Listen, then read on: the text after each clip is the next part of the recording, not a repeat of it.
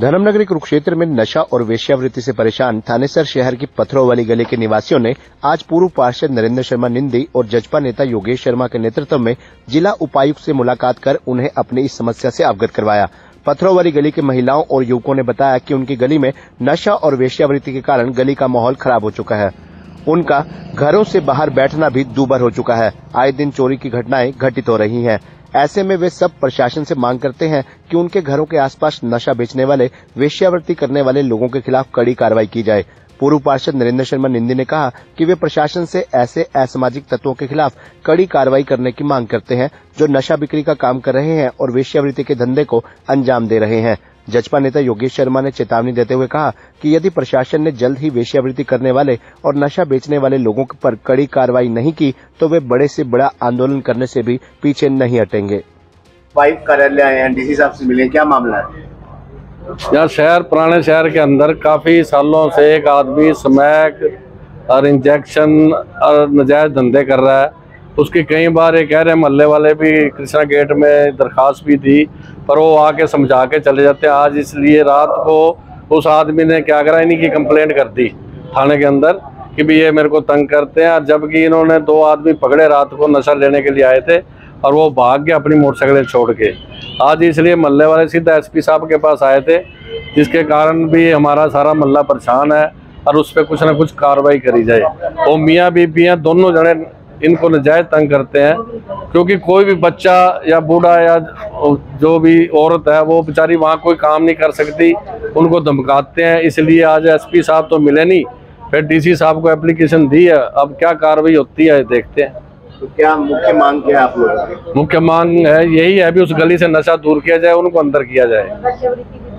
वहाँ वैश्यवृत्ति करता है टीके तक बेचता है वो आदमी। हर तरह का नशा बेचता है वो। और आसपास के घरों में चोरी भी करने लगे हैं डीसी साहब ने आश्वासन दिया। डीसी साहब ने आश्वासन दिया वो आगे एसपी साहब को हमारी कॉपी फॉरवर्ड कर देंगे। उन्होंने कहा भी मैं करूँगा एसपी साहब से बात।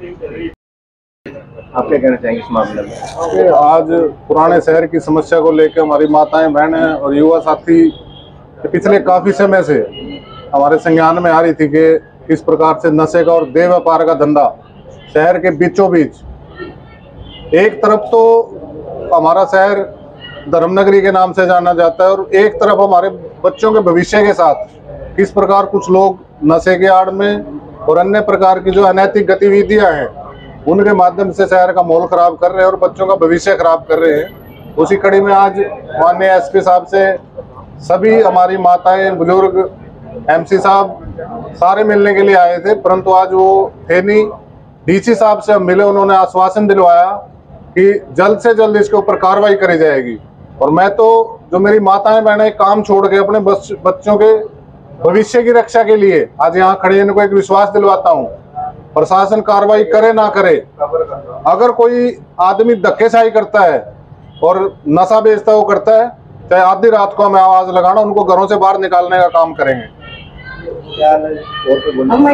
हम सभी गली वाले बहुत दुखी हैं क्योंकि वहाँ पे नशा कम से कम सौ डेढ़ सौ बच्चे नशे की पुड़ियाँ लेने आते हैं इंजेक्शन लेने आते हैं वहाँ पर। और वेश्यावृत्ति का धंधा चल रहा है वहाँ पर सबने रोकने की कोशिश की लेकिन वो सबको तंग करता है। कौन सा मोहल्ला जी? हाँ जी पत्थरों वाली गली है और हमारा घर बिल्कुल पास है ये सब उसी मोहल्ले में रहती हैं। ऐसे आने वाले में हमारे बच्चों का भी भविष्य खराब होगा वहाँ पर हमारी बहू बेटियाँ बाहर भी नहीं बैठ सकती और आने जाने में भी हमें बड़ी दिक्कत होती है।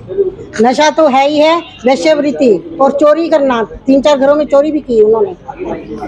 बहुत गंदा माहौल है, ये तो सुधारना पड़ेगा प्रशासन को।